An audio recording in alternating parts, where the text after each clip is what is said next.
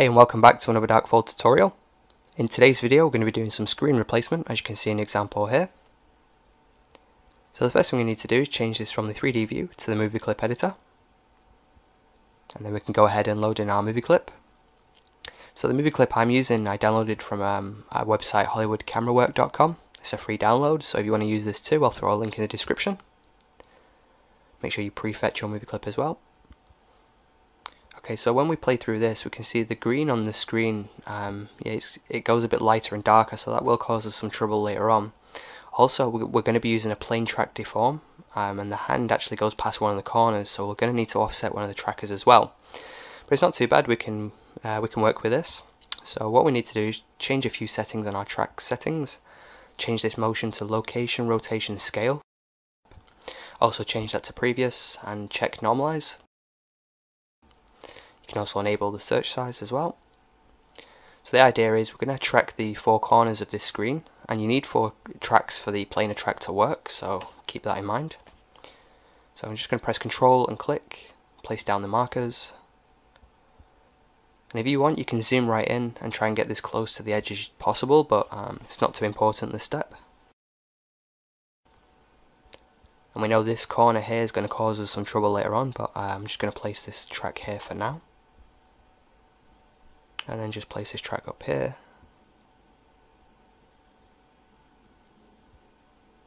Like so. Now I'm not sure if it helps with tracking but what I like to do is rotate the tracks so I can see them a little bit better. Um, so if we select this one if I start press R to rotate so if we look over here we can see it's more of a right angle. So I'm not sure if it actually helps with the tracking process but it helps me see if it sticks to the, uh, the point better, if that makes sense. so you don't need to do this, um, but I mean, if you want to, go ahead and press R to rotate them. Okay, so we select all of them, and then if we track this forward, we can see most of them work, well, all three of them work except this one, and it, this one obviously fails because the hand goes in the way, as you can see. So what we need to do is find a point where we can uh, just offset it. So I'm just going to find where it fails, and then just jump a few frames backwards make sure we don't see the finger at all. And then what we need to do is clear the tracks forward so if we press the arrow forward arrow it clears all the tracks you know after this frame. Okay so now we've got this. If we press G twice so press G and then G again so we're actually offsetting the track point. So I'm just going to use this letter here as a point to track from and again make sure you press G twice otherwise it'll just move the tracking marker. So place this somewhere else. And all we need to do is just track forward a few frames till the hand clears it. So somewhere like this. So maybe one more. Yeah. So now we can press G twice again. Press G, G and then move it back over. And click. And then again you can just track forward now it loses again because the hand comes back down, so we're just going to have to offset it again, so just go back a few frames. So yeah, it's the same process, we just need to find out where it fails. So I'm just going to jump forward. So around here, just clear the frames. And then now we can just offset this by pressing G, G. And just, just track forward a few frames. Then you can go ahead and press GG again and then move it back. Pretty simple. So you may have done this a few times already when you've been tracking, There's things getting in the way, just offset the track, uh, track that forward again, and that should work fine.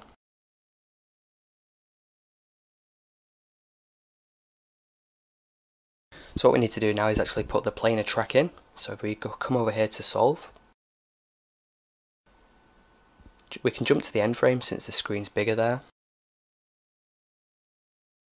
How you're going to need to make sure that you select all of them first before you press this button.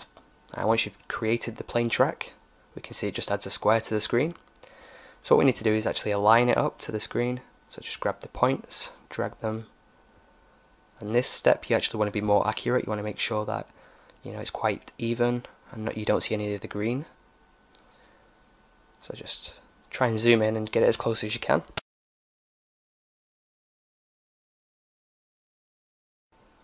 and then we can go ahead and change this to the node editor. So make sure you check scene, use nodes and backdrop. So what I'm going to do is just change this, so I'm going to press Shift S and change this to a movie clip. Load in our movie clip and we're good to go.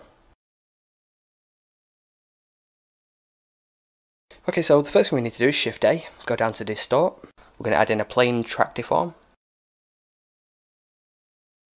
And make sure we select the movie clip. Select the camera.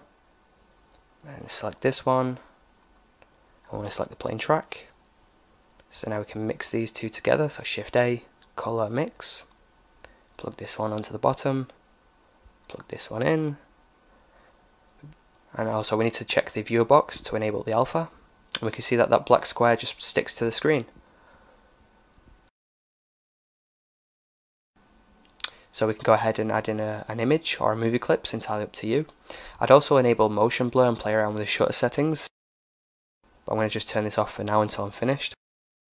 Okay, so I'm going to shift A and add in a movie clip. Again, you can add in an image, movie clip, whatever you want. I'm going to use an image node though, so I can offset the, uh, the frames. But again, that's entirely up to you.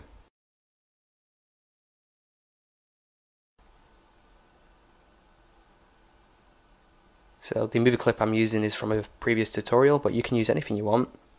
Um, so yeah, I used an image node instead of a movie clip node, so I could set the offset here. Let's offset by say 50 frames, and that's because there's like a, it starts from black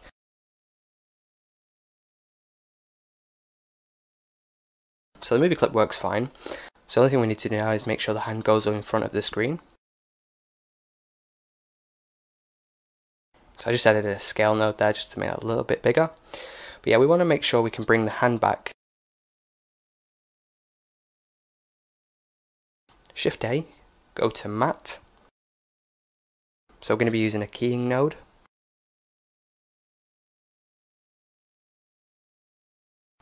And this is what you use when you're doing green screening but we're actually we're not going to be using it for this value we're going to be using it for the mask. Okay so I'm not going to go into too much detail how to get rid of the green uh, that's probably for a future tutorial. So I'm just going to show you how I'm going to change this into a mask. Select the color picker but we can see we've got some trouble there since it's uneven. So the green is entirely uneven so we need to manually select a different color so I'm just going to drag this into the white value a bit more until the green's gone. Don't worry about the background, we're not worried about that for now.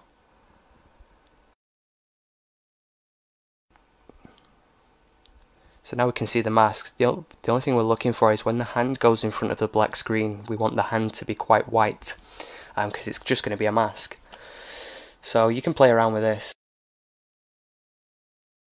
So we need to clip the blacks, clip the whites, play around with all these settings here. Again, it's probably for a future tutorial since it's quite in depth. If you want, you can just do the same settings that I used. Like I say, just play around with the blacks and the whites and the feathering distance as well. So you get something that looks like that. and again, we're not going to be using this image output, we're going to be using the mask output, so don't worry about that. So Shift A in a colour spill. And make sure that's not using it. So we just want to put it on this uh, this input here. And this just gets rid of the green on the hand and so as we can see without the colour spill and with the colour spill just takes away some of that green colour.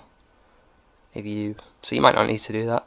It's entirely up to you Okay, so let's add in that um, the hand. So Shift A or Shift D, the mix node. Let's move these over. So let's take the feed from. We don't want to. We no longer want to take the feed from here. We want to take it from this node here. Since this is now the color corrected one or the color spilled corrected one, whatever you want to call it. Let's plug this into the bottom value. And then what we want to do is just mask out this now. So to make sure we take the mask, this middle one here, plug this into the factor we can see the hand is now added over the top.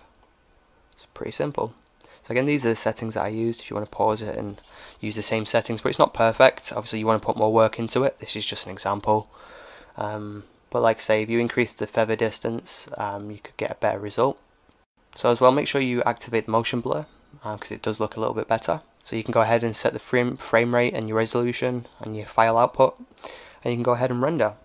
So hopefully this tutorial helped, if it did be sure to give it a like, and as always thanks for watching.